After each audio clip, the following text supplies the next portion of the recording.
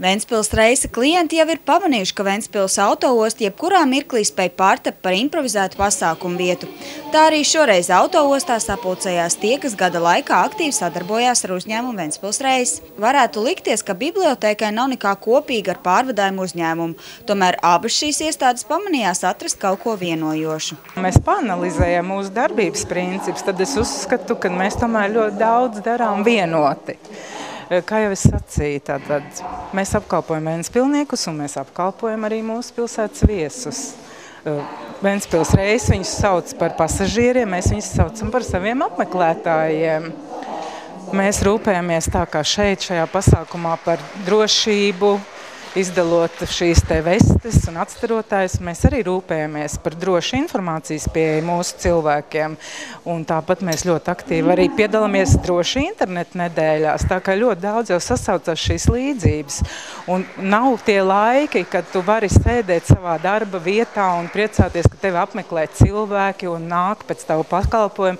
Mēs jau sen esam pārauguši tādā stadijā, kad mums ir jāiet un jāiziet ielās un jāiet meklēt gan jaunu auditorija un, un, un jauni lasītāji un jāiet ir tātad pie šiem cilvēkiem. Un tāpēc veiksmīgi sadarbojoties sastās vidusskolas skolotājai Ventspils reisām radās šī ideja iziet ielās. Un ar ko vislabāk var iziet ielās? Protams, ar dzēju. Dzēja. Lūk, kas apvienoja Ventspils reisu, bibliotēku un Ventspils skolu audzēkņus. Tiem, kas aktīvi piedalījās akcijās, Ventspils reisa sagatavoja dāvanas, kurām tika pievienotas arī atstarojošās vestes. Tas ir mūsu devums tādā kopējā kustības drošībā, jo es, protams, rūpējos par, gribas rūpēties par saviem pasažieriem, gribas rūpēties par gājiem, rūpēties par mūsu autobusu vadītājiem, kuriem bieži vien dažādos laika apstākļos nāks vadīt autobusu. Un, nu, nu, diemžēl ir ļoti daudz gājēju, kuri dodas ceļā bez atstarotāja, nerunājot nemaz par vestēm. Jā. Es domāju, vestes vispār ir ļoti neierasta lieta, un man ļoti gribētos, lai arī šie bērni, kuriem mēs dāvājām vestes, nekautrētos viņus nesāt, jo tas ir tiešām tā neierasti vēl.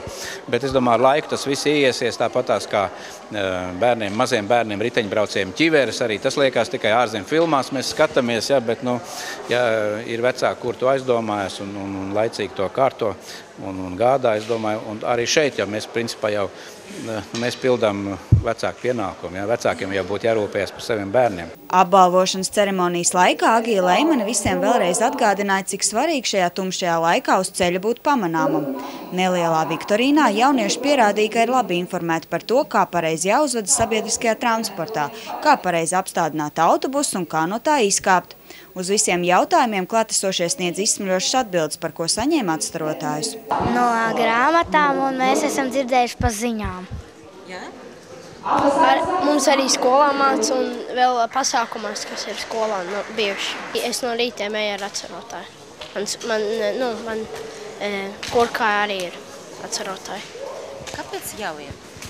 Tā, lai cilvēku var pamanīt automašīnu un visi auto auto vadītāji, kas sēž, kas vada auto. Un tumsā, lai arī redzētu, kad, kad ir pāri un lai, nu, lai redzētu visu. Man somas tā atceroties. Tagad vienkārši iekāpšu autobusu, tad es atceroties virsū, tagad nav vērts likt. Vismaz es tā domāju. Kā tu domā, kāpēc jāliet? Vai to vienkārši pamanīt uz ceļa malu? Ja iet no pieturas nost, vienkārši redz tev, vai to. Ja tev neredzes, tev var būt visādi. Kopš mums ir akcija Ventspils reiz tev vienmēr pamanīs. Es tiešām regulāri lietoju atstarotāju, lai gan līdz tam es par to pat nebiju godīgi aizdomājusies.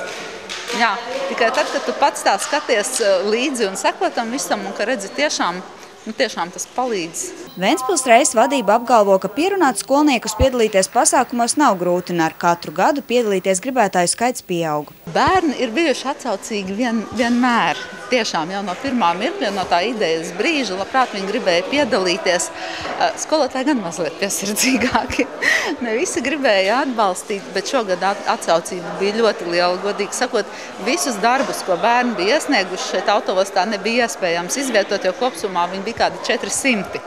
Jā, šeit ir izvietot aptuveni 80 tikai darbiņi, kurus uh, Ventspils reisa darbinieki izskatīja un kas viņiem tā, vislabāk patika. Tad mēs tos izvietējām un no tiem 80 apbalvojām 40. Skolnieki nekavējoties steidz uzmērīt uzdāvinātās atstrojošās vēstis, apsolot, ka noteikti tās nesās, it īpaši dienas tumšākajā daļā. Gita Mārtiņsona, Taķjans Saksagāns, Andrejs Kulīgins, Kurzemes televīzija.